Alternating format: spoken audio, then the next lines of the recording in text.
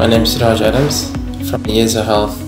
We identified a challenge in South Africa where a lot of patients in public sector clinics were waiting between three to four hours um, and traveling far, far distances to collect the medication at these clinics. Um, and this resulted in a non-collection rate of about 5 to 20% of all chronic parcels at, at these various clinics on a weekly basis. We also had a survey to determine the demand for our service and this indicated a high need for home delivery services.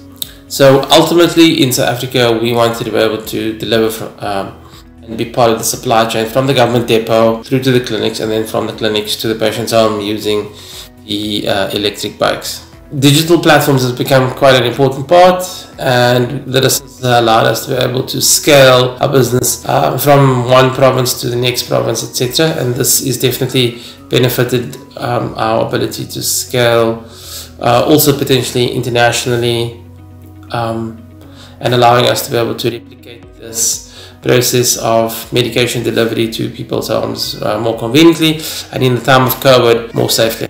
So the main platform, the Iyeza Express platform is what the bicycle riders would use.